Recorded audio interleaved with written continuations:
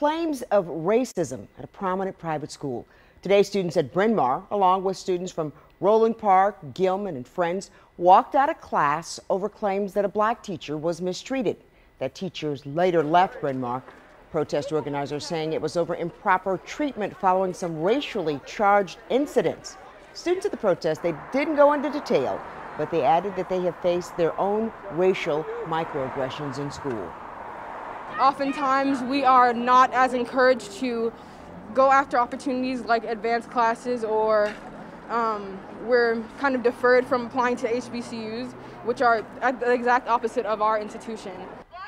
The teacher who left the school and who spurred the protest was not at all involved in the demonstration. We did reach out to her, and we're waiting to hear back.